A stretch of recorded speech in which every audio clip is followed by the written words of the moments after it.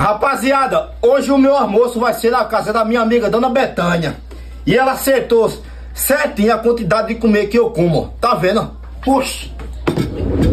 Oxente, Zé. É. Que danada é isso aí? E, e a gente vai comer o que, hein, Júnior? Ei, oxente, deixa pra nós não, é? Ô, O que é que vocês acham, Ela rapaziada? botou aí, Zé, pra gente dividir. Olha aqui os pratos, Zé, ó. Três pratos, é. Três pratos. Tirar daqui e botar nos pratos, Zé. Vida, E era pra dividir, era? Oxi, Misericórdia, vocês estão vendo, gente? tu pensou que era o que, Zé?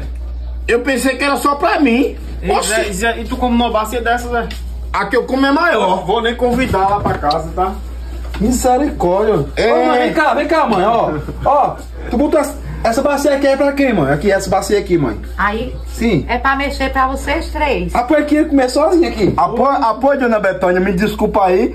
Que eu vi essa bacia, eu, eu imaginei assim, Dona Betânia já sabe a quantidade de comida que eu como. Ô, Zé, Ela botou certinho, o que, é que vocês acham? pra, pra mim só era fama, mas é realidade. Apoio como? Mãe, bota pra ali pra reta. Não, eu também com muito, é porque eu quis ser educado, sabe? Uma etiquetazinha, mas tu puxou a mim. Ou eu puxei a tua. É etiqueta Eu do tô teu falando, Zé. eu tô falando pra vocês, esse negócio de etiqueta não enche barriga não, rapaziada. Apoio a senhora acha que enche, Dona Betânia? Ó a etiqueta aqui, ó. Enche não, mano.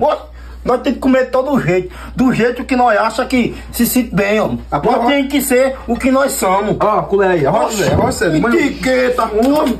Já que Dona Betânia me deu a ordem, eu vou passar pra dentro. E não vou comer nem com a colher, eu vou comer com uma concha, pia. Poxa, já deu por certo. Cuscuzinho, feijãozinho, quer dizer, uma favinha e um quiabo. Eita, aqui, Zé, ó. Ó, ó. Toma. E só lembrando pra vocês que Dona Betânia é a mãe desse macho velho aqui, ó. Pela caridade. Meu amigo Álvaro. e tô por aqui, rapaziada. Aceita. Não é de luxo, mas dá pra encher o bucho. E é isso aí. Chama na bota que eu já salvo na voz.